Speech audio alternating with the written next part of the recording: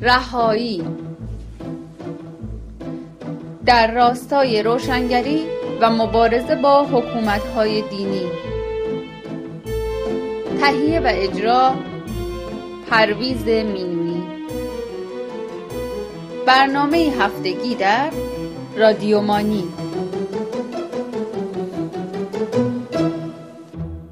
درود بر بینندگان و شنوندگان رادیو تلویزیون مانی. در سراسر جهان من سپاس میدارم از جناب میزاقه اسکری مانی شاعر بزرگ کشورمون که من این شانس رو دادن که از طریق این برنامه در خدمت شما عزیزان باشم. از خانم سرور سهیلی همکار بسیار عزیزم سپاسگزارم که افتخار دادن در این برنامه من همراهی می‌کنم از شما خانم و آقایون عزیزم بسیار سپاسگزارم که به برنامه توجه من خانم سرور بیشتر توجه میشون که به اصطلاح تفسیر رو در اسلام روش تکیه کنم بگن. قبل از اینکه ایشون وارد بشن من درباره تحولات ادیان به طور خلاصه می‌خوام یک توضیح بدم. آقای ولتر نویسنده و فیلسوف بزرگ فرانسوی میگه که اولین شیادی که به اولین ساده لوحی رسید دین به وجود اومد. حالا من البته آقای ولتر توضیح نمیده جزئیات ولی من خودم از روی این فکر کردم اینجوری فکر می‌کنم. ببینید مثلا مثال بزنیم برمیگردیم به انسان های اولیه. انسان های اولیه اونایی که تو خار زندگی می‌کردن یا توی جنگل ها بودن یا روی درخت زندگی می‌کردن. اصلا نمیشناختن پدیده های طبیعی رو نمیشناختن. حالا مثلا یه دفعه شروع می‌شد باریدن تگرک قطرات سفت یخ از آسمون میامد اینا دوچار وحشت می‌شدن. چی شده که این اومده اینجا؟ حالا اگر یه نفر آدمی بود که وارد بود ولی شیاد نبود. به اینا گفتش که نترسید. این چیز خطرناکی نیست. این یه مدت میاد قطع میشه. نگران نباشید. اما اگر شیاد بود میگفتش که می‌خواید من این جلوشو بگیرم؟ اونم گفتم بله. با هر کاری من می‌کنم شما تکرار کنیم دستاشو بالا می‌کرد پاهاش تکون می‌داد دستو می‌کرد این کارو می‌کرد اونا هم تکرار می‌کردم خب بعد این مدت تموم می‌شد. تگرک دیگه تگرک زمانش معمولا کوتاهه. وقتی تموم می‌شد میگو حالا من این نگه داشتم من این جلو اینی گرفتم. شما حالا مرغ بدید تخم مرغ بدید نمی‌دونم گردو بدید فلان بدید. در نتیجه اولین باورهای متافیزیکی به قول معروف از اونجا آشکار شد. و اولین مذاهب شاید مذاهب همون اعتقاد به اون جادوگران قبیله ها بوده که همون مردانی که این کارا رو می‌کردن بودن. و این اولیش بود. بعدش می‌دونید که خب خورشید مورد پرستش قرار گرفت به خصوص از جان ما ایرانی ها مدت ها خورشید رو پرستیدیم بعد برای بعضی کشورها ماه مورد پرستش بود. مثلا فرض کنیم که در کشورهایی که نوایی گرم بودن خورشید چیز مطبوع دلچسبی نبود. ماه رو عبادت می‌کردن. بعد عوامل طبیعت مثل کوه مثل رود هنوزم توی هندوستان یه رود گنگ که برای مردم مقدسه و میرن به اون رود عبادت می‌کنن و یک با آداب خاصی وارد اون رود میشن و اون رود رودی است که برایشون مقدسه و احترام داره. در بعضی اقوام حیوانات رو مورد احترام قرار دادن. همونطوری که در بین برخی از هندیا گاو مورد احترامه و گاو رو احترام می‌کنه. اگه گاوی بیاد وسط جاده بخوابه اونجا هیچ کس بلندش نمی‌کنن و وای میسن تا این گاوه خودش بره. و خب بعضی ها میامدن مثلا موش و مار و حیوانات دیگه ای رو میپرستیدن. منظورم که هی تحول پیدا کرد هی دین اون باورها هی عوض شد. بالاخره به ایجا رسید که مجسمه درست کردن. مجسمه از سنگ و چوب و و مواد دیگه درست کردن. این موا... اون مجسمه رو پرستیدن. و این مجسمه پرستی در بسیاری جاها رواج پیدا کرد. بعد اومدن گفتن که نه این مجسمه که خودمون درست کردیم که اینا کاری برای ما نمی‌کنه که. اون کوه و رودخونه اونام که برای ما کار نکرد که. اون خورشید و ما هم که برای ما کاری نکرد. بعد اومدن گفتن خب پس خدای موجودش که در آسمانه تو اون آسمان نشسته و اون همه ما رو کنترل می‌کنه و باید به اون عبادت کنیم. و دین های توحیدی خداپرستی به وجود اومد. ببینید صحبت من اینه که همونطور که زمان اون دینا یه زمانی پایان یافت زمان این خداپرستی هم باید پایان پیدا کنه دیگه. الان ما می‌دونیم که اون خدایی که اونجا هست هیچ کاری برای ما نمی‌کنه. همه پیر میشن مریض میشن به خدا التماس می‌کنن خدای ما رو شفا بده ولی همشون میمیرن. یا همه اونایی که بچهشون دچار مشکل میگن خدای فلان ولی کاری نمیشه. هیچ عملی خدا در زندگی ما انجام نمیده. حالا اگر اون دیگران باور دارن مثلا فکر من اتفاقاتی میفته فکر من خداست خب بگم من یه زمان ایران داشت می‌رفتیم امام داوود. خب می‌دونید که پیاده رفتن بسیار مشکله. یه سری با قاطر می‌رفتن یه سری پیاده می‌رفتن یه سری بخشیشو با قاطر می‌رفتن. بخشیشو پیاده یه خانم محسنی داشت می‌رفت به سختی. یه دفعه یه که چوب افت جلو پاش پیدا کرد. گوه خدای ممنون این چوب برای من رسوندی. شروع که با اون چوب مثلا بزنه به زمین ببره بره بالا. خب شاید اون خانوم فکر میگن این چوب خدا فرش فرستاده. ولی ما می‌دونیم اون چوب اونجا افتاده بود و این خانم اون چوب برداشت. اون چوبم به این انرژی نداد. چهار قدم با اون چوب رفت. بازم اون حالت خاص خستگی بهش غالب شد. و خدا کاری نمی‌کنه. و خدا هیچ وقت نیومده بگه ما رو بپرستید منو بپرستید. ما رفتیم خدا رو خدا رو ما خلق کردیم. خدا ما رو خلق نکرده. البته یک آفریدگاری هست که همه چیز داره خلق کرده. که منظومه شمسی رو خلق کرده کهکشان راه شیری رو خلق کرده میلیون ها کهکشان دیگر خلق کرده انسان ها موجودات همه رو خلق کرده. ولی اون موجود برای ما قابل درک نیست. یعنی ما نمی‌تونیم درک کنیم اون کیه. و مسلما اون نیرویی که این چیزا رو آفریده هیچ وقت به من نمیگه آقا برو روزه بگیر از فلان ساعت تا فلان ساعت تا من خوشم بیاد. یا جهنم درست کردم تو رو می‌ذارم تو جهنم. این همه ما خودمون از خودمون در خب خانم سرور. درود بر شما و بر همه شنوندگان و عزیزانی که ما رو می‌بینن و صدامون میشنون. شما در مورد چگونگی چیدن دین صحبت کردید و در این مورد که ما می‌خوایم تفسیر رو امروز صحبت بکنیم تفسیر وقتی که دین منطق نداره برای بشر و حرفهایی که قبلا زده شده به خصوص در مرور زمان دیگه خیلی مسخره میشه. از اولش هم پایه های اساسی ساخت دین یه مزخرفات غیر قابل باوره. اینه که مجبورند آدمای دین ساز و آدمای دین نگهدار برای منافع خودشون مجبورن هر, هر از گاهی هر چند گاهی نقدی که مردم بر مزخرفاتی که اینا ساختن می‌کنن رو تغییر بدن. اسم اینو گذاشتن تفسیر. تفسیر مثلا در جاهایی که قوانین عرفی رو تفسیر می‌کنن برای ملتشون فرق می‌کنه. یعنی مردم رو آشنا می‌کنن بر آنچه که واقعیت موضوع هست. این میشه تفسیری که مثلا بر قانون اساسی امریکا می‌کنه. مجالسش یا چیزایی دیگه یا هر کشور دیگه. اما اینا آخوندا و دین نگهدارا به نام تفسیر تغییر میدن مسائل رو. مثلا شما فرض کنید ببخشید. مثلا شما فرض کنید وقتی که بهشون میگین که اسلام با اینی که گفته همه دنیا باید اسلامی بشه قرآن امر کرده که مردم رو به جهاد بفرستید. مؤمنین برن جهاد بکنن تا که با جهاد همه مردم دنیا رو اسلامی بکنن. اسلامیایی که تفسیر می‌کنن میگن نه نگفته که برین بزنین جایی. گفته دفاع کنین از خودتون. دفاع کردن از خود اینه که یک کسی به آدم حمله کرده باشه. و آدم جلوشو بگیره دفاع بکنه. هیچ جا در قرآن اسم دفاع نیورده. بیشترش مثلا در آیه 218 بقره میگه که ان الذین آمنو و الذین هاجروا و جاهدوا فی سبیل الله میگه که اونایی که برن آدمایی که ایمان آوردن برن هجرت کنن و جهاد کنن.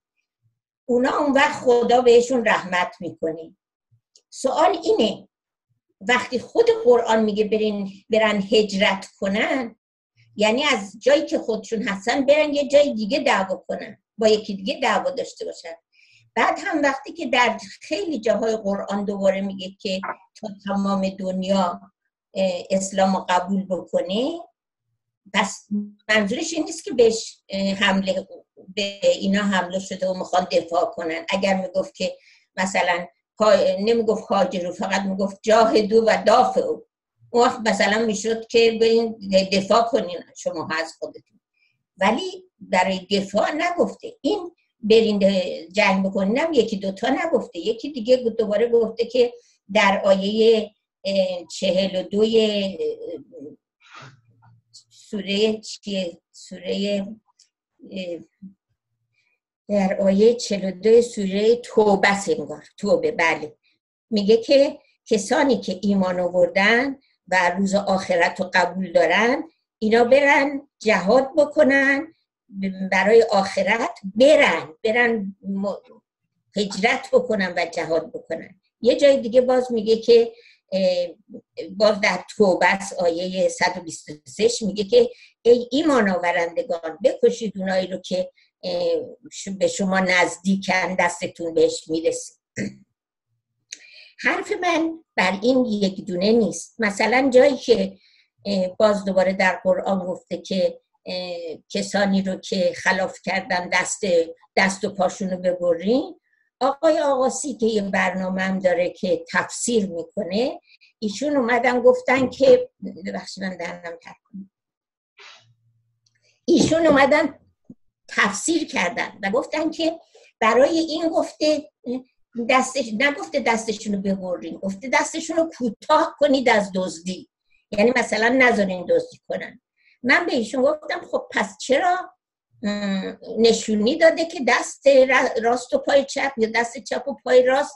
پس چرا نشونی داده؟ اگه با اون یکی دستشون دوزی کنن و اون قبول اب نداره اون یکی که اون یکی دسته که کوتاه دستشون رو نکنین اینجوری واسش نشونی داده. اینه که اینایی که میان تفسیر کنن یک دونه حرفی می‌زنن که اون حرف خلاف و غیر منطقی و خلاف علم و غیر منطقی و خودخواهانه و خود رو تقدس مقدس نشون دادن و تقدس ایجاد کردن و می‌خوان اون حرفا رو کم مال کشی کنن دوباره یک حرفی می‌زنن که این حرفه برای آینده هم دوباره باز معلوم میشه وقتی مردم نقد می‌کنن تفسیر دوباره می‌خواد. این تفسیر اول و تفسیر دوم و تفسیر سوم و, و این همه اسمایی مثل این آخوندهایی که از 1400 سال پیش تا حالا هی رساله نوشتن. پایه این رساله ها هم از روی قرآن بوده. اومدن هی تفسیر کنن که نقدهای مردم رو جواب داده باشن.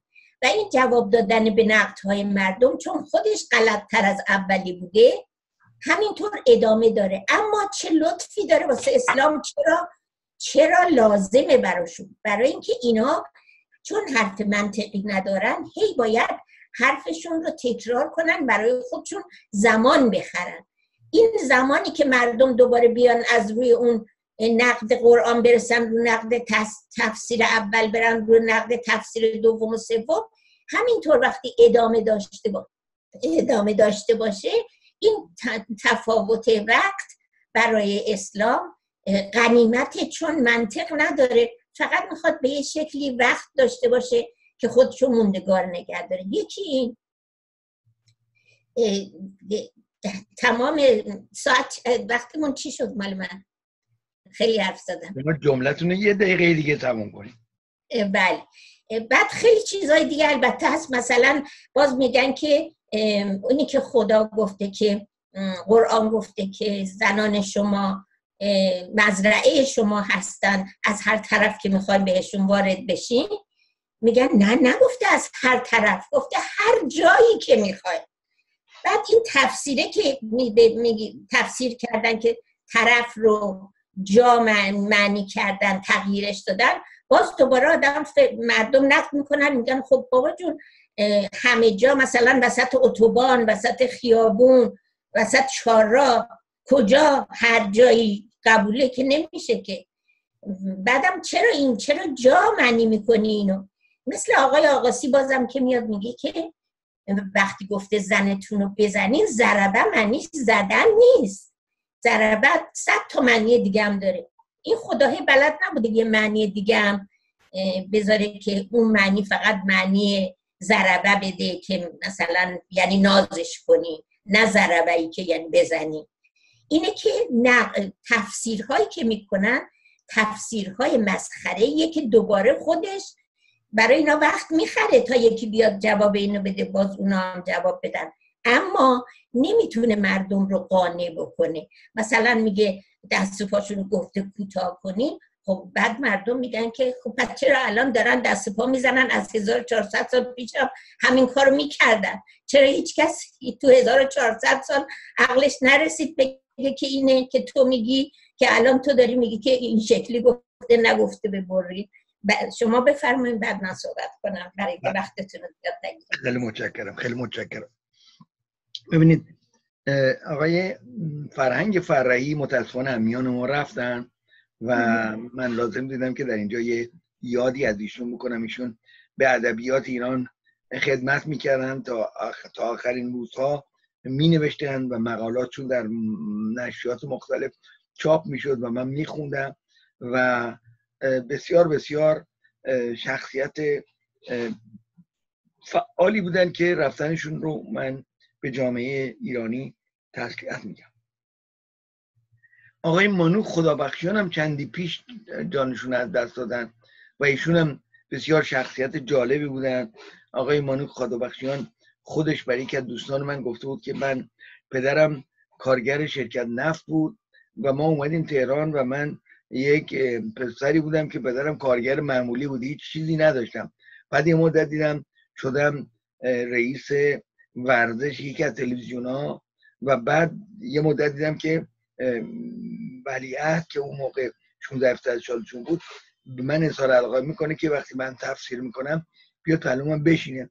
بعد به خودم گفتم ببین تو چقدر خوشبختی که با اینی که هیچ پشتوانه مثلا اینکه به جایی مربوط باشی نیستی پدر کارگر ساده است اومدی رئیس یه قسمت تلویزیون شدی و با ولیعت دوست شدی. ولیعت کشور اون با تو. دوسته بعد اومدن بعد از انقلاب اومدن امریکا که دستش هم دوش کوتاه بود. به یکی از دوستان من گفته بود من می‌خوام برم نوامو ببینم نواهامو ببینم. گفته خب بلیت بخر برو. گفت نه من از هواپیما میترسم سوار هواپیما باشم. گفته خب ماشین بگیر برو. گفته بود که آره می‌خوام برم. ولی دلم می‌خواد دستم پر باشه یه چیزی بخرم براش یعنی اینقدر دشوار بود براش. که چند تا کادو نمی‌تونست برای نواهای خودش بخره در حالی که تفسیرهای ورزشی و تفسیرات سیاسی خیلی خوبی می‌کرد.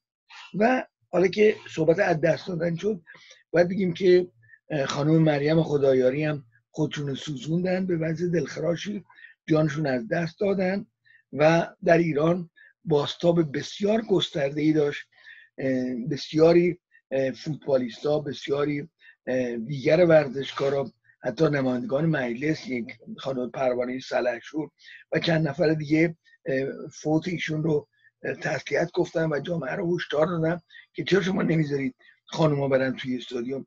من نمی‌دونم چرا. ما همیشه دای... کاسه گرمتر از آش میشیم. چطور تو عربستان سعودی مردم خانوما بیچادر میان بیرون توی سوریه بیچادر میان بیرون میرن تو استادیوم چرا ایران نمیشه؟ و بعد فیلم های نشون میدن کلیپ که تو ازاداری خانوما رو می‌زنن برن زنجیر بزنن. من تا حالا نشیده بودم که خانوما رو اجازه بدن برن زنجیر بزنن. اونم موهاشون بازه و خانوما برن توی انتخابات توی استادیوم برن شرکت کنن موهاشون هم باز باشه. حالا چی جوری میشه که وقتی که مسابقات ورزشیه نمی‌ذارن برن؟ حالا کی می نمی‌ذارن برن؟ آقای مکارم شیرازی که خودش دزده خودش شکر رو دزدی می‌کنه وارد کشور می‌کنه. میفروشه. حالا میگه که یک آخوند 90 ساله میگه که زیربنای استادیوم ها خوب نیست که خانم ها برن. آقا تو که خود دوزی تو به این کارا چیکار داری؟ به تو چه مربوطه؟ وقتی می‌خوام برن مسابقه فوتبال باید فوتبال دوستا قضاوت کنم. تو چی کاره ای؟ یا اون یکی دیگه صافی گل پایگانی صد یه سالشه. میگه نباید برن. خب اینا که همه میگن نباید برن اینا آدمای نادان بی سواد و ضد جامعه هستن ضد شادی هستن ضد جوان هستن و حال من امیدوارم که همونطور که دیگر بزرگان گفتن ما از اونها شنیدیم مردار ایرانی غیرت داشته باشن و تا ورود خانمها با استادیوم ها آزاد نشده پا به استادیوم ها نذارن. ببینید خانم سرور اشاره کردم به تکرار. ببینید بعضی نسبت به تکرار حساسیت دارم مثلا فرض کنیم که ده تا مطلب رو آدم میگه یکیش ممکنه تکرار مال قبل باشه. این چند دفعه خانم سرور چند دفعه برای شما در وقتی بچه بودید و مسجد می‌رفتید چند دفعه امام حسین برای شما کشتن؟ ده ها بار اصلا چرا نماز این پنج هر روز می‌خونیم افتار کرد نماز می‌خونیم همه حرفا رو می‌زنیم؟ تکراره. و اگر یه چیزایی هم از تکرار بشه مشکلی نیست. خانم سرور میکروفون در اختیار شماست. بسیار سپاسگزارم. همونطور که فرمودید تاسف بسیار دارم برای رفتن آقای فرهنگ فرهی. ولی یک چیزی که من همیشه به اون معتقدم اینه که کسانی که اثری در جامعه گذاشتن که برای بشریت بهزیستی میاره شادی میاره و فرهنگشون رو پیش می‌بره این آدما در اندیشه آدمای دیگه زندگی خواهند کرد. اینی که کسی میره بهشت یا میره جهنم یا نمی‌دونم از این حرفای مزخرف دین و اسلام و قرآن و اینا که بگذاریم زنده یاد بودن معنیش اینه که افرادی که کاری اساسی و اثر بخش تو دنیا می‌کنن در مغز افراد دیگه زندگی می‌کنن. یعنی از پیش برای خودشون جایی برای موندگاری درست کردن در اندیشه دیگران. فرهنگ فرهی یکی از این آدما بود و من فکر می‌کنم که وقتی که این میومد صحبت می‌کرد تو تلویزیون های بسیاری صحبت می‌کرد. من با خانمشون دوست بودم رفت آمدی می‌کردیم. وقتی که صحبت می‌کرد یه دونه تاریخ زنده بود.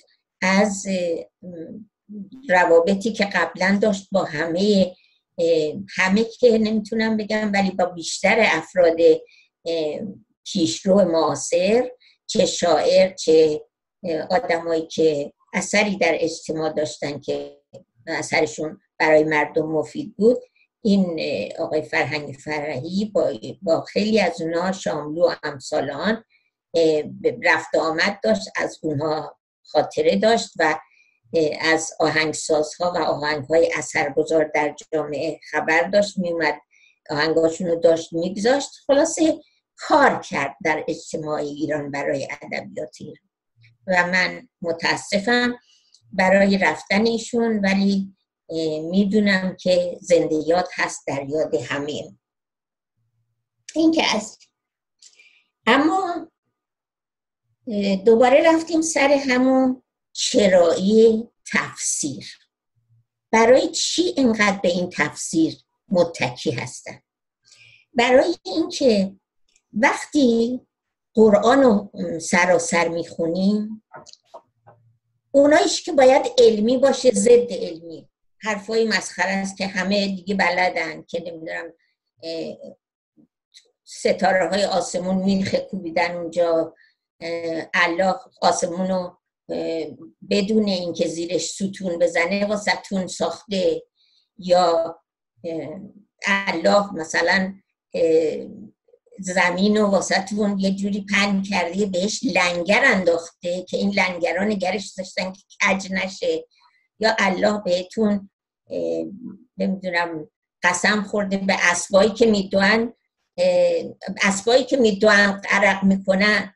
اسبایی که می‌دونن عرق می‌کنن چه لزومی داره آدم بهشون قسم بخوره؟ یا مثلا به اونایی که جلو می‌زنن من تو اتوبان وقتی دو تا ماشین از هم جلو می‌زنن یاد قسم الله میفتم جلو زنندگان یعنی مثلا چیکار می‌کنن؟ جلو جلو می‌زنن اصلا یا قسم به تاق و چه معنی داره؟ خلاصه. یه چیزایی که می‌خواد علمی صحبت کنه که از زمین و آسمون و این می‌خواد صحبت کنه که خیلی بی خودی اصلا هیچ کدومش علمی نیست. چیزایی که در مورد زنان میگه که واقعا مشمعز کننده است که زنتون رو مثلا اگر که تربیت نشد اگر که حرفتون رو گوش نکرد بزنینش. خودش میگه اصلا زنان شایسته اونان که فرمان بردار باشن بعدم که دیگه مثلا دو تا زن میارزه به یه مرد وقتی می‌خوان ازشون شهادت بگیرن و غیره.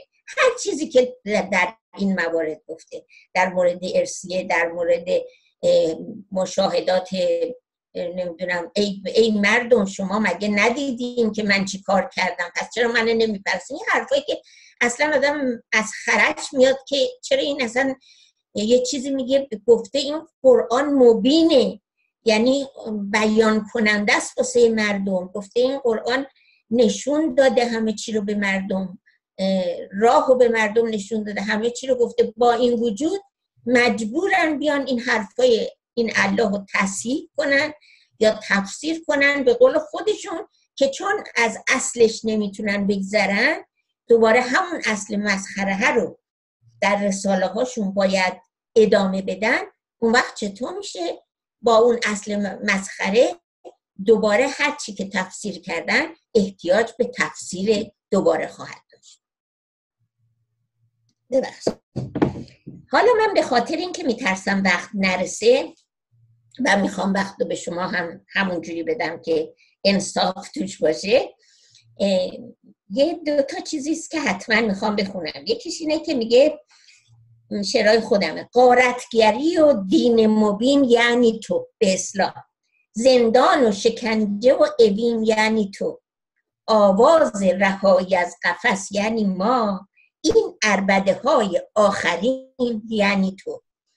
بعد ای دین سنان و خنجر و زور از دانش و منطق بشر دور. ای دفن نگشت مرده دهر ای لاشه بویناک منفور.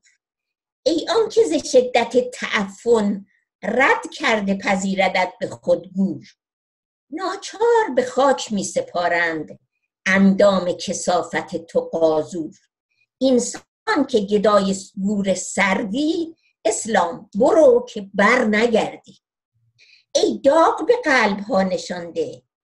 ای قربت تلخمان چشانده. از درد فراغ مادران را خاکستر غم به سر نشانده. ای دین مزینت به شمشیر بذر ستم و بلا فشانده. از بس که اساس رنج و دردی اسلام برو که بر نگردی. هر بار که این بساط تحمیل می‌رفت شود به علم تعطیل یک نام دیگر بر آن نهادند. تفسیر شد و دوباره تجلیل. معنی لغات واژگون شد. دادند به یاوه نام تحلیل. یک رخت دیگر تنش نمودند. کردند به دفع مرده تعلیل. ای شر زمان چو دفع گردی آنگونه برو که بر نگردی. تفسیر مردم رو راضی نمی‌کنه. یه جمله شما فرمودید گفتید که یه خدایی هست که دنیا رو خلق کرده. ولی اون یه, یه چیز علمی باید باشه به طوری که بخواستید بقیهشو بگید زیاد وقت می‌برد نگفتید که حالا اون اصل مطلب چه ها می‌تونه. اون دیگه یه برنامه علمی بزرگ می‌خواد تا شما همه رو بگید. ولی کن من یه مثال کوچیک در این مورد بزنم. شما وقتی که رخت میشورین مثلا تو ماشین رخشویی از اون در میاریم میریزین تو خوش کن. اگه مثلا یه لباس بندداری هم توش باشه یا جوراب بلندی توش باشه وقتی که لباس ها میارید بیرون می‌بینید که تمام چیزا به هم پیچیده چنون گره خورده که اصلا دیگه اینا رو یه پنج دقیقه طول می‌کشه تا از هم دیگه بازش کنیم. قشنگ مثل که یه کسی نشسته اینا رو همه رو با هم گره زده. ولی توی اون ماشین خوش کنه. شما یه خدا نبوده این کارا رو بکنه. کی بوده؟ چی بوده؟ زمان بوده. گردش بوده اسپیس بوده جایی بوده که این تو می‌تونسته به چرخه چیزهایی که از ابتدایی ترین زمان ها می‌تونسته باشه. space باشه مثلا time باشه گردش و تغییر باشه. یه چیزایی که حالا باید بریم مثلا سراغ یک بحث های علمی مفصل تا ببینیم که از اینها در طول زمان بینهایت و بیشمار که ما نمی‌تونیم تصورش رو بکنیم چقدر یه اتفاقاتی موجودیت رو به وجود آورده باشه. من این مثال واسه زدم که خیلی قابل درک وقتی آدم میره در خوش کنه و می‌کنه می‌بینه چه, چه اتفاقاتی اون تو افتاده چه گره هایی خورده. اگه به یکی بگی اینا رو فقط فضا و تایم و با تغییر ایجاد کرده با چرخش ایجاد کرده خیلی براشون مشکل که اگه هیچی هیچ کس اون تو نبوده چرا این این شکلی شده. ببخشین باز دوباره زمان برای شماست. اگر مون به من میدین. خیلی ممنون. حتما حتما. ببینید من دو مطلب رو می‌خوام بگم. این که در اشاره به اینکه شما اشاره کردید به قسم که خدا میگه به اسبایی که میدوهن قسم بنمیدم اون دفعه گفتید به نمی‌دونم زیتون قسم به فلان قسم. ببینید قسم رو معمولا کی می‌خوره؟ ما به عقلمون مراجعه کنیم کی قسم می‌خوره. مثلا تو دادگاه قاضیه که قسم نمی‌خوره که. دادگاه که قسم نمی‌خوره. اونی که مورد اونی که مورد اتهام قسم می‌کنه میگه به این به این به این من این دوزی رو من نکردم. پس بنابراین قسم رو همیشه افراد ضعیف می‌خورن می قسم می‌خورن که خودشون از اون موضع ضعف نجات بدن. آقا خدا که اینقدر قدر قدرت نشون داده میشه تو قرآن چه اجباری داری که بهت قسم بخوره؟ اونم به قول شما قسم بخورم به زیتون به به خرما به توت فرنگی که من شما رو خلق کردم. خب اینا چه ارتباطی؟ از این جمله بیمعنی ارتباط نداره. خب به قول خود شما پس منم به هندونه و خربزه و فلان قسم که من شما رو خلق کردم. این که دلیل نشد اما در مورد تنبیه که شما گفتید من یه خوندم که یه خانومی در زمان آقای محمد زنده بودن. یه خانومی اومد و ناراحت و عصبانی و فلان. بله آقای محمد پیغمبر گفتش که آقای محمد شوهر من وسط زور که من هزار جور کار دارم اومده و می‌خواد با من مثلا نزدیکی کنه فلان کنه. و من دوامو شده سر این قضیه دیگه. آقای محمد گفت باشه من اجازه بدید که من رو این فکر می‌کنم جوابتون میدم. آقای محمد فکر کرد بعد اون آیه سوره نساء اون آیه رو بود که زناتون اگر بد اخلاقی کردن این کارو بکنید اگه تکرار نشد. این کارو که آخر سرم کتکتون بزنید بعد حالا چرا؟ حالا چرا آقای محمد؟ بابا یه زن به تو پناه برده میگه شوهر من من اذیت می‌کنه. تو اون وقت جوابش میده که زنتون رو بزنین. چرا؟ واقعا آدم باید فکر, فکر کنه که چرا آقای محمد این حرف زد؟ برای که آقای محمد می‌خواست بره مردان براش بجنگن قارت بکنن خمسش هم بدن به آقای محمد. خب زنا که نمی‌رفتن جنگ کنن قارت کنن خمسش بدن به آقای محمد. مردا می‌رفتن. پس آقای محمد هیچ کاری به حق و حقوق و عدالت و اینا نداره. کارش اینه که اون مردا رو برای جنگ بیشتر تشویق و آماده کنه. اون جنگ هم نه به که اسلام رو رواج بده به اون غنیمت ها رو بگیره. و این غنیمت ها رو بگیره بگیرن مردم خمسشو بدن به آقای محمد. تمام دزدا و قاتلای عربستان سعودی اون سرزمین همون عرب که اونجا بودن اون زمان گفتن به همدیگه گفتن آقا ما ای می‌رفتیم دزدی می‌کردیم زن و بچه مردم میدزدیم تجاوز می‌کردیم آدم می‌کشیم به ما می‌گفتن اینا آدم بدی. یه کسی پیدا شد محمد میگه نه اینا کار خوبیه به شاید خمسشو بدید به من. اگه خمسشو بدید به من ثوابم داره.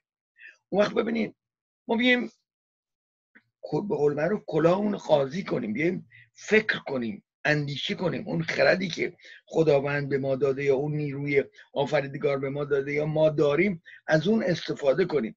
بگیم آقا چرا پیغمبر میگه اگه مردا در راه جنگ برای غنیمت گرفتن کشته شدن میرن به بهشت اونجا برایشون هوری ها هستن و قلمان ها هستن.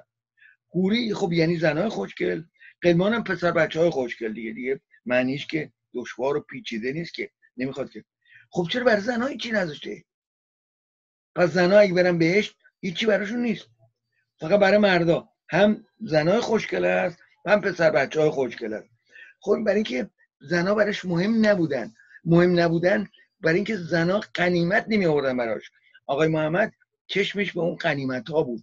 چون اون قنیمت ها رو مردا می آوردن پس برای مردا در بهش هزار جور پاداش گذاشت برای زنا هیچی نداشت. و از طرفی اگر آقای محمد گفتش که زنای شما مردن رفتن تو بهش براشون فرشته های مردای خوشگل هستن اون مردای عرب بهشون بر می‌خورد ای آقای محمد زن ما رو بفرست اونجا یکی دیگه فلان پس بنابراین اون اصلا لایی در کریر اصلا درباره زنها هیچی نگفته. چون سلاش نبوده بگه. فقط این آیه های رو آورده همش برای این بوده که مردا رو تشویر به کشتن و قارت بکنه تا سهم خودش بیشتر بشه. خب در چند دقیقی که نه خب وقت داریم یه یه رو بیداریم شما می‌تونید یه قسمتی بگید باز فرصت باشه من صحبت. پیرو حرفای شما یه جمله میشه گفت خیلی همه اینا توش بگنجه. اینه که خداه زنا رو به عنوان اموال خودش هدیه می‌داده به مردا سرباز بگیره واسه خودش. این این. خیلی حرف درستیه. بعد وقت وقتی میگن که خدا نگفته که برین جهاد یعنی نمیگن نگفته برین نمیگن که نگفته که برین جهاد. میگن گفته دفاع کنین از خودتون. نگفته برین دیگران رو بکشین دنیا رو اسلامی کنین. وقتی اینو میگن سوال مردم که نقد می‌کنن این حرفا رو خیلی زیاده. یکی دیگه مگه کاروانایی که رد می‌شدن از مکه به محمد حمله می‌کردن؟ محمد می‌رفت سر رای اونا مینشست که اینا بیان بگیره قارتشون کنه و بکشتشون اسمشو بذاره جنگ. تازه الله تو قرآن به محمد میگه که محمد من بهت کمک میفرستم و کمک فرستاده خود خدا هم اومده تیر انداخته. فقط میگه محمد تو نمی‌بینی ما مردم نمی‌بینن. ما اومدیم تیر انداختیم به تو, تو جنگی که تو با کارمون نمیگه با کارمون تو جنگی که تو داشتیم کمکت کردیم. ما همه جا به مؤمنین در جنگ کمک می‌کنیم. ما آمدیم کمکت کردیم. تم حالا اولا ما بعد چیزی رو که نه می‌بینیم نه اثرش رو می‌بینیم. نه تیر انداختنش کسی رو کشته که بگن این از تیر خدای مرده نه از تیر مثلا خود لشکر محمد.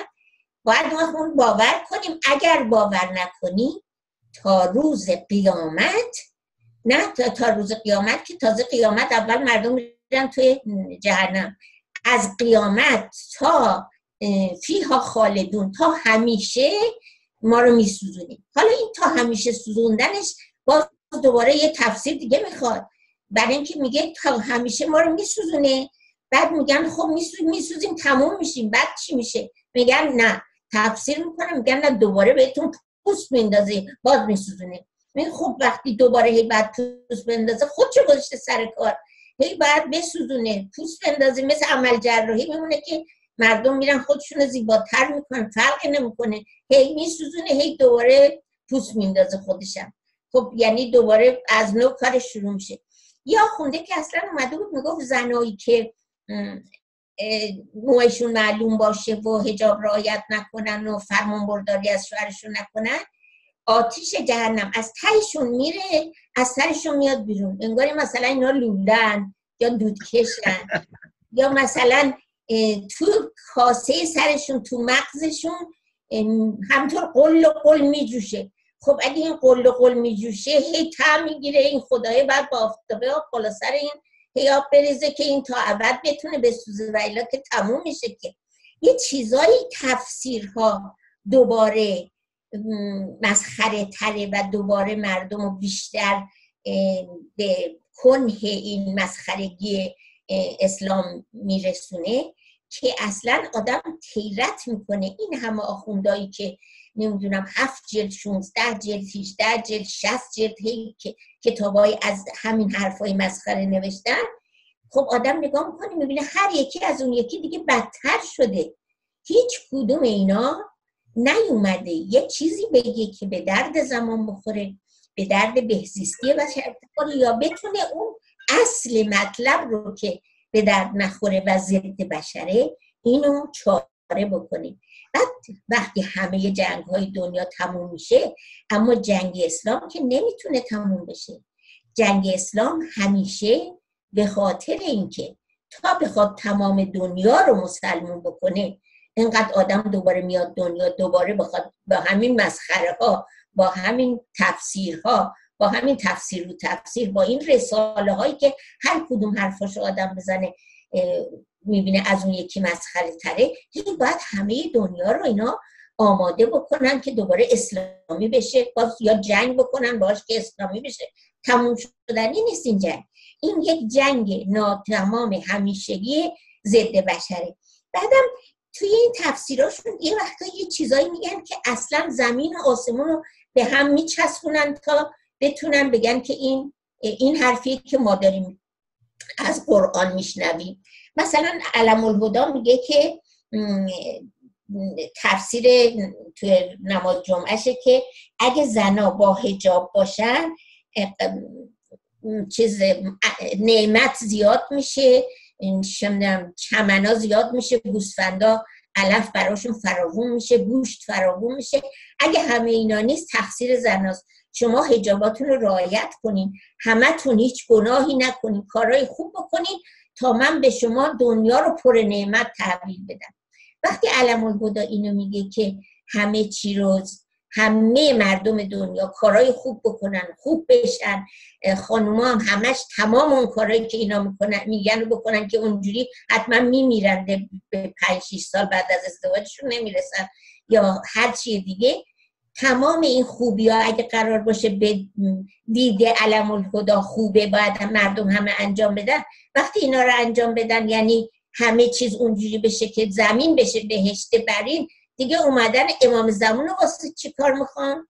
دیگه دیگه تمام چیزا اینجوری که این میگه به این مسائل بنده این مسائل انجام بدن خوب میشه دیگه. اینا هم اومدن که اون کارا رو بکنن که همه چی اینجوری خوب شه. بعد میگه نیومدن امام زمانم دیر کرده تقصیر شماست که این کارا رو نمی‌کنی خب وقتی این کارا رو هم بکنن همه چی خوب شه دیگه امام زمان لازم نداره. بعدم یه عده که میان نقد می‌کنن. میگن که خب این امام زمانی که می‌خواد بیاد چرا قرآن؟ یا الله هیچ حرفی تو قرآن در مورد این نزده؟ چرا هیچ وعده ای از هیچ جا نشنیدین؟ چرا هیچ اسمی از این تو قرآن نیست؟ برمیگردن میگن نه. یه چیزایی گفته که اون به امام اومدن امام زمان و وجود امام زمان گواهی میده. حالا اونا چیه؟ مثلا فرض کنید. قرآن به, واقعیت این. قرآن یه دونه آیه داره حالا شمارش الان جلوم نیست یادم نیست. میگه که من براتون اولاق فرستادم که سوارش بشین. از فرستادم که سوارش بشین. پس ببینیم من چقدر خوبم. یعنی یکی از افتخاراتش اینه که به, به, به انسان ها اولاق داده که سوارش بشن. بعد حالا امام زمانم چون سوار اولاق میشه میاد این این اولاغه نشانه اینه که اولاغ فرستاده که امام زمان سوارش بشه بیاد. شما نگاه کن چطوری آسمون و زمین آدم باید به هم ببافه. تا اسم اون اولاغه که تو قرآن اومده رو جانشین اسم امام زمانی بکنی که می‌خواد بیاد. بعد حالا این امام زمانی که می‌خواد بیاد خودش بعدا میگن روی اولاغی سواره که یه پاش توی قوم یه پاش توی بغداد و مکه. حالا ببینی این علاقه چقدره که کوها زیر پاشون درها زیر پاش از اینجا تا اونجا پاش به این بلندی به این گندگی. بعد این امام زمان اگه شکل آدم باشه قد آدم باشه بشینه روی این علاقه میشه قد یه دونه فندق که میشه قد یه دونه نخوچی که. چجوری از بالای اون علاقه به اون گندگی که اینقدر یه پاش اینجاست یه پاش اونجا به این گندگی می‌خواد گردن مردم بزنه؟ تا, تا اونم تا زانوی اون اولاقی که زانوش انقدر بلنده وقتی بخواد تا زانوی اون اولاق خون وایستاده باشه که میشه از اقیانوس هم عمیقتر که از بالای کوه ها هم این اولاقه پاهاش رد میشه. چجوری؟ این می‌خواد تا زانوش خون بیاد. هرچی آدمه خودش تو خون غرق میشه دیگه. شمشیر کشیدن که گردن زدن نمی‌خواد. یه چیزایی میگن که وقتی همه اینا رو با هم نگاه می‌کنیم فکر می‌کنی همه اینا دیوانن. آدم به یه کسی میگه عاقل که بتونه قضاوت کنه که بتونه منطق بذاره بغل حرفش که بتونه سنگین سبک کنه که اینا به هم می‌خوره یا نه. از خود قرآن گرفته تا تمام رساله ها هیچ کدومش به هم دیگه نمی‌خوره. من اصلا از این مطلب به این نتیجه می‌رسم که چه خوب شد که اینا این مله ها اومدن نشستن این حرفا رو زدن که تمام مردم خود اینا هوشیار کردن. امروز من میگم آهای آخونده که همیشه دو قرطه نمی‌تونن باقیه که ماها باید آقایان علما ماها باید به دنیا حکومت کنیم. ما باید دستور بدیم که دنیا چجوری زندگی بکنه مردم چجوری فکر کنن مردم چجوری رفتار کنن همه رو شماها باید بگین. دیدیم که آخر تشت رسواییتون از بالای پشتمون افتاد پشت بام افتاد. دیدیم که تمام دنیا این حرفای مسخری که شماها تا حالا زدیم همشو هی دارن به همدیگه میگن میخندن؟ می‌بینیم که اصلا کتابتون شده درام جوک. بله. از یه بر کشتارها و جنایتها و شناعت هایی که به کار می‌برین درامه. بر مردم گریه آوره. از یه بر مسخره است. همه این حرفایی که می‌زنین همه این چیزایی که ما الان داریم میگیم همین چیزایی که تفسیر کردن داریم این تفسیرها رو تکرار می‌کنیم از قول خودشون برای مردم. اینا مسخره است اینا جوکه. بله. چون وقتمون دیگه کمه. اجازه بدید منم یه کم مطلبی بگم. بله. ببینید همونطور که شما گفتید آقای محمد خودش نمی‌دونه تو قرآن چی میگه. حرفاش همه ضد نقید بیمعنیه گاهی وقتا. جهنم میگه آتشش اینقدر اینطوری اینطوری اینطوری بعد یه سوره ای در قرآن داره سوره حالا عنوان اسمی اون سوره تبت یدا ابی لهب اینجوری شروع میشه. در جنگ احد آقای محمد شکست خورد فرار کرد رفت به کوه پناه برد حمله کردن بهش. عموی پیغمبر می‌خواست بکشه محمدو بعد با سنگ به پیشونیش زد دندونش شکست با شمشیر می‌خواست بکشدش که ریختن جلوش گرفتن نذاشتن که محمد کشته بشه. بعد آقای محمد یک قول خدا یک سوره گفت به نام سوره تبت ید ابی یعنی ای ابی لهب یعنی اموی پیغمبر اسمش ابی بود. ای ابی لهب دستت بریده باد. اولا که خدا وقتی محمد به ابی لهب میگه دستت بریده باد هیچ وقت بریده نشد. یعنی آقای ابی لهب تا آخر عمرش زنده بود و دستش هم سر جاش بود. بعد آقای محمد میگه که در اون دنیا ابی لهب مثل یه الاغی میشه. که زنش یک دونه تنابی از چیزای خرما میبنده به گردنش می‌بره این شوهرش که شکل الاغ شده می‌بره تو جهنم میگردونه. آخه این حرف چه معنی میده؟ تو گفتی اینجا همش آتیشه. همه میسوزن. چطوری این الاغه نمیسوزه؟ اون تنابی که به گردنش بستید از از چیزای خرما هست اون نمیسوزه. چجوری این زنه میره شوهرش رو ور میداره میره تو جهنم میچرخونه؟ این همش حرفای بیمعنی و بی ربطه و ابی لهب هم هیچ وقت دستش قطع نشد دروغیه. خدای موسی گفتش که اقیانوسا بشن شد دریاها بشن شد درختها بشن شد. خدای محمد گفت دست ابی لهب قطع باشه هیچ وقت هم قطع نشد. پس این میرسونه که همش علکی بوده همش بیخودی بوده. بله. ببینید اونم که گفتید در این در یکی از جنگ ها به نظرم جنگ بدر بود که آقای قوای محمد پیروز شد و یه سری از اینا رو کشتن. بعد آقای محمد تو قرآن میگه که من خدا دو هزار تا فرشته فرستاد که تو جنگ به شما کمک کردن. مردم میگن آقا ما فرشته ای ندیدیم ما هرچی نگاه کردیم خدا هم بودی کسی نبود. آقای تو قرآن آقای محمد از قول خدا میگه که این دفعه در جنگ بعدی فرشته های نشاندار میفرستم. یعنی خدا میگه که اون فرشته که من دیدم فرستادم شما ندیدید؟ این دفعه یه فرشته می‌ذارم که نشاندار باشن که شما ببینید. که خب همش علکی بوده دیگه. ببینید این جمله رو من بگم که شما گفتید. در وقتی که یه فیلمی نشون دادن برام فیلم مسنجر پیامبر که آنتونی کوین توش بازی می‌کرد. این فیلم رو مثلا 50 60 سال پیش درست کردم و دانشگاه الازهر هم تایید کرد گفت این فیلم با زندگی محمد تا کاملا بیوگرافی محمد سازگاری داره همخانی داره. و در تمام کشور اسلامی هم نشون دادن از جمله در ایران هم نشون دادن دوبله شده هم نشون دادن. اینا وقتی از مکه فرار کرد آقای محمد با با ابوبکر رفت مدینه. یه سری هم یاران محمد اومدن اونجا. بعد یه مدتی حمزه که عموی پیغمبر بود و سردار سپاهشان بود اومد گفت ای برادر زاده محمد این یاران ما دارن گشتگی میمیرن. گفت چرا میمیرن؟ گفت اینا که توی مکه بودن یه بزی مرخی یه چیزی بالاخره داشتن یه آلاف علوفی داشتن یه چیزی خ... شکمشون رو سیر می‌کردن. حالا اومدن اینجا هیچی ندارن دارن میمیرن. آقای محمد گفت چیکار کنیم؟ گفت همون کاری که همه اجدادمون می‌کردن دیگه. جنگ کنیم خارت کنیم بریم حمله کنیم قارت کنیم. اصلا قزوه قزوه به من جنگ نیست. قزوه منی حمله و قارته و رفتن به کاروانا حمله کردن و قارت کردن و زندگیشونو گذروندن. ما خانم سرو برنامه به پایان رسیده و اگر شما می‌خواید یه جمله در پایان بگید که خطو به پایان ببرید.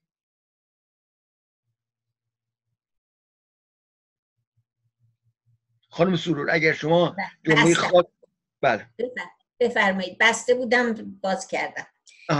ببینید مردم امروز به تمام نداریم. با این برنامه تمامش کنیم. باش. مردم به اینی که قرآن مسائل علمیش حقیقت نداره غلطه حرفایی که زده قولهایی که داده درست نبوده. مثلا می‌گفته که زلقرنین به زلقرنین گفتن عجوج و مجوج ماها رو اذیت می‌کنن. زلقرنین گفت برام آهن بیارین آتیش بیارین پل بینشون دیوار می‌سازم نتونن بیان به شما ضرری بزنن. تو قرآن میگه. خب حالا کون عجوج و مجوج کون دیواره؟ کو اونی که تو اون داری؟ تو قرآن میگی که کردن این کار رو و نتیجه خوب گرفتن. کی زلقرنین اصلا شهر عجوج مجوج کجا بودی؟ یه چیزایی داره یه حرفایی داره که بشر امروز تو کتش نمیره این چیزای بی خودی رو قبول بکنه. من فقط می‌خوام اینو بگم که صد بارم تفسیر بشه لحظه ای واسه اسلام وقت می‌خره این مسائلی که در اسلام هست و هیچ وقت این لحظه لحظه زنده موندن اینا این پرپر زدن یک, یک چیز در حال موته یک چیزی که زنده حسابش می‌کنن ولی زنده نیست پرپر می‌زنه ولی همینطور ز... تو این پرپر زدن مونده. بشر باید اینو دستبالش رو جمع کنه. یه مرده ایه که با تفسیر می‌خوان یه لباس تازه تنش باشه نگهش دارن. و این شدنی نیست چون خیلی دائم باید این جریان فیضی و آخوندیسم برقرار باشه. تا تمام این لحظه ها رو پر کنه اینا با لحظه ها بتونن خودشون رو نگه دارن. زمانی که اینو قطع کنی فیضیه و آخوند و نگه دارنده های دین رو قطع کنن بشر راحت میشه. امیدوارم که روزی رو ببین بسیار سپاسگزارم از خانم سرور سوئیلی سپاسگزارم از جناب مانی که محبت کردن به ما وقت دادن برنامه کارگردانی فهمی کردن. از شما خانم آقایونی که به برنامه توجه کردید بسیار سپاسگزارم. برای همتون شادی و پیروزی و تندرستی آرزو دارم. درود بر همه.